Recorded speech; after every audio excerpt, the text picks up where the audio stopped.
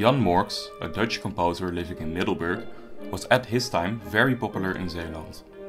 However, over the past decades, little biographical information about Jan Morks has been written. He was very active in the musical life of the city and had a very influential role.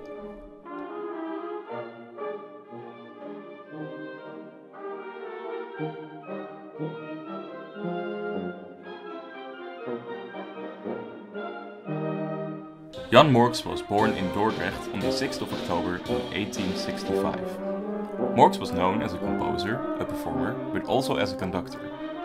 After moving to Middelburg in 1891, Morks became the conductor of the muziekkorps de Dienstdoende Schutterij, which was later called the Middelburgs Muziekkorps.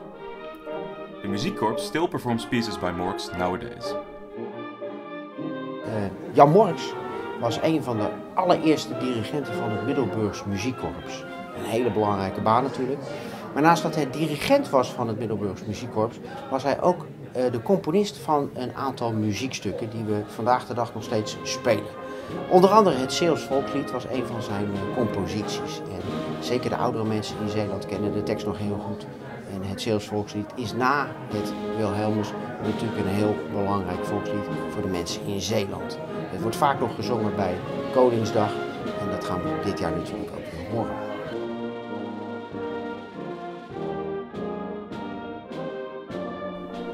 The current members of the Middelburgs Muziekkorps are rehearsing the Zeeuwse Volkslied now. Composed in 1919, it is set to lyrics written by D.A. Poldermans, a local school teacher, and it is the official provincial anthem of Zeeland.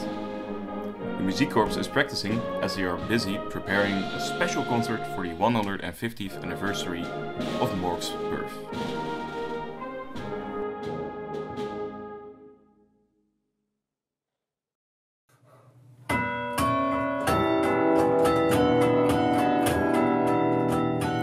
Jan Morks was also the city carillonneur, a position he held from 1897 until a year before his death.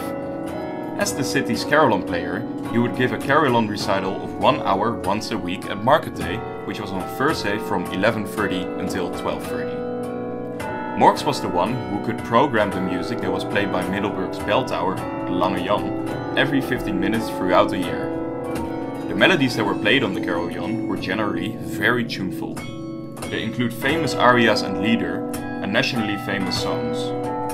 From 1905 onwards, Jan Morks started to program his own works on the carillon, including the Zeeuwse Volkslied. The city carillonneur of Veere, David van der Vlies, is giving us a demonstration.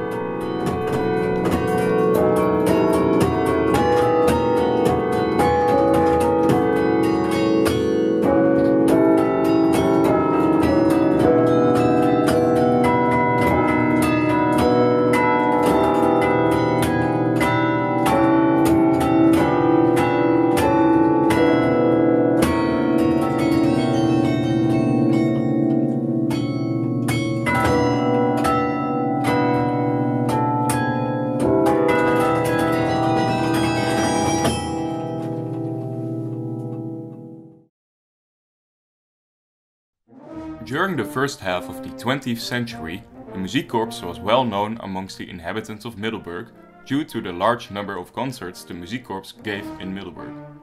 In summer, they gave Abdijconcerten on Sunday mornings, concerts on the Abbey Square in Middelburg. On Sunday evenings, they performed in the Schuttershoftuin, a garden behind the St. Jorisdoelen, where the marksmen used to practice. On Friday evenings, they used to perform at the Molenwater and in total they gave 476 public concerts between the years 1891 and 1904.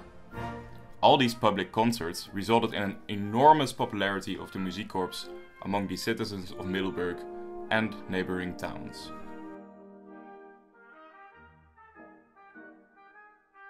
Jan Morks has contributed a lot to the music scene in Middelburg. Unfortunately, he had to stop all his musical activities in 1925 because of an eye disease, which had made him almost blind. Only a few months later, on the 7th of February in 1926, Morks died. On the 10th of February, he was given a military funeral, which was visited by many people. Accompanied by the Middelburgs Muziekkorps playing Marche Funèbre of Chopin, Morks was brought to the cemetery. Jan Morks was buried in a grave alongside Hendrik Brouwer, who was buried there on the 2nd of May 1925. It is clear that Morks has been an important figure in the music scene of Middelburg.